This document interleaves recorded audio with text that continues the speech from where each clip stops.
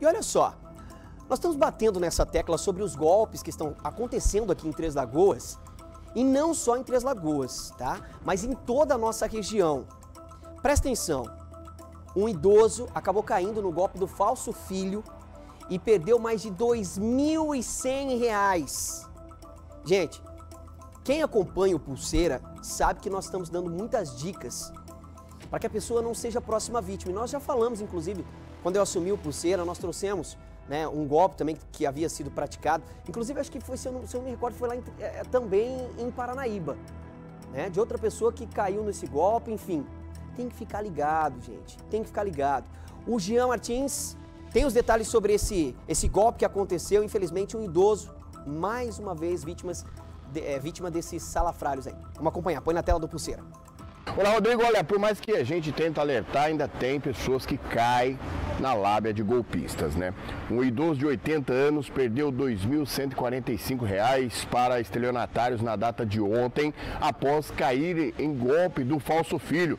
Segundo o boletim de ocorrência, compareceu à primeira delegacia por volta das 18h47 de ontem a vítima, um idoso de 80 anos, informando que recebeu mensagem via WhatsApp de um número DDD 067, alegando ser sua filha, com os seguintes dizeres: Bom dia, pai. Agenda meu novo número.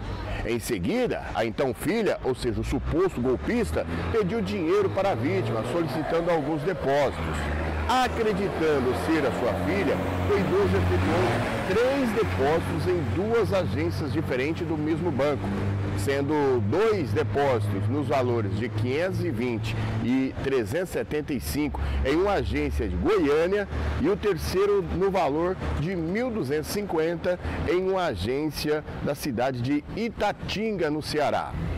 Acrescenta a vítima que só percebeu se tratar de um golpe momento em que achou estranho sua filha pedir tanto dinheiro, visto que ela nunca pediu qualquer quantia, qualquer valor para a vítima. Sendo assim, procurou a delegacia de polícia para registrar a ocorrência. Todos os dados das transações, como banco, agência, conta e nome do favorecido, já estão aí com a polícia. No total, a vítima teve um prejuízo de R$ 2.145. A gente sempre alerta, né, Rodrigo? É, sempre desconfie e nunca vai depositando antes de falar realmente com a pessoa no número habitual, no número antigo. Mas por hoje é só. Um abraço e bom trabalho a todos. Bom feriado, boa Páscoa.